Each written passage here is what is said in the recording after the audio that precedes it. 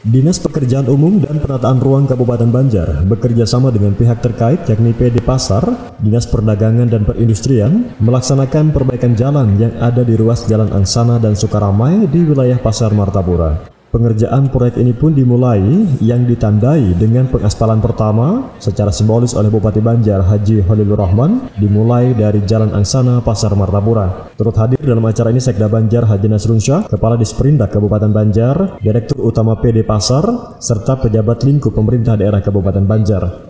Dalam keterangannya, Bupati Banjar mengatakan pengerjaan jalan ini merupakan proyek dari PUPR Kabupaten Banjar yang diambil dari APBD tahun 2018.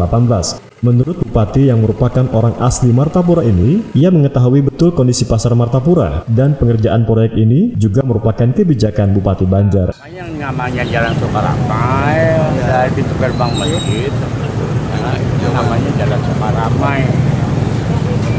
Nah, ini kan saya tiap tiap hari kan saya orang Mertapura, Ya, tahu banget. Ya.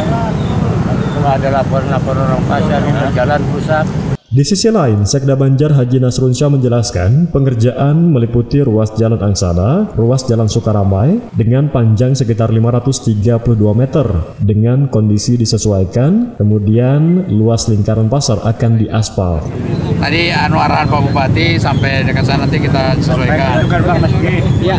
Ruas Jalan Kenanga, ruas 1 panjang 93, ruas 2 yang sebelah sana juga ya. Jadi panjang ini ada, jadi lingkaran pasar ini nanti sudah akan diaspal semua.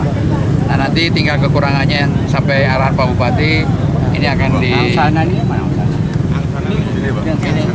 Ya. Jadi ini kanan terus sana mutar. Iya. Tapi tadi Pak Bupati minta diteruskan sampai ke Gerbang ya? ke masjid. ya. Karena pengerjaan proyek berada di wilayah pasar Martapura, maka dilibatkan pula PD Pasar yang akan menata para pedagang yang berjualan di ruas jalan yang terkena proyek pengaspalan, serta penataan keberadaan warung makan yang ada di pasar Martapura agar tertata rapi seperti yang disarankan oleh Bupati Banjar. Effendi Taufik Kominfo Banjar melaporkan.